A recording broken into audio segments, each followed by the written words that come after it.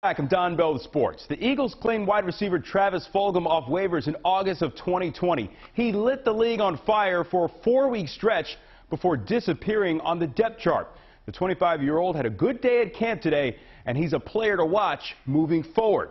For more on day six of camp, we bring in Pat Gallen live from the NovaCare complex. Pat, what's up? DB, the intensity ramped up here today at the NovaCare complex. The pads came out for the Eagles.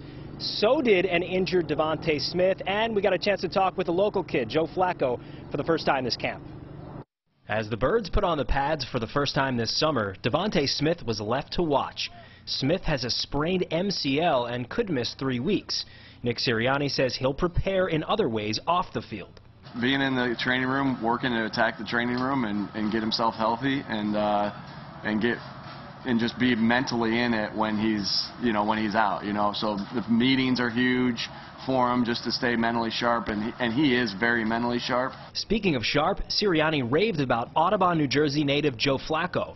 The 36-year-old backup quarterback is entering year 14. Sirianni sees him almost like another coach on the field. Man, this guy's played a lot of football, and that, I think that's a really good compliment we can give a guy like because that's show, that's saying in a coaches meeting that's saying this guy's really smart. This guy knows what he's doing. And so I think you just see that you know he has a good feel for the offense. Flacco appreciates the kind words from his coach. Yeah, it's funny I mean you know because you have seen a lot but at the same time you know this this offense that we're running is new for me. So um, I think I think I can I can relate it to things faster than obviously you know, a younger guy. As for being back in the area, Flacco is excited to play in front of friends and family. I obviously have a lot of connections to this place and, you know, grew up watching these guys' games on TV and being able to see the stadium anytime I was coming over the bridge. So to now be, be in town here and possibly being able to play and, you know, put that jersey on and being able to play over there in that stadium is definitely pretty special.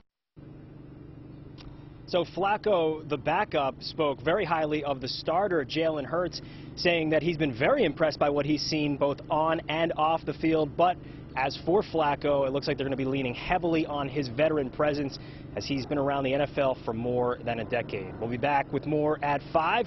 For now, we're live outside the NovaCare Complex. I'm Pat Gallen for CBS 3 Eyewitness Sports. Don, back to hey, you. Hey, Pat, I've been off for a couple days. You get a fresh cut?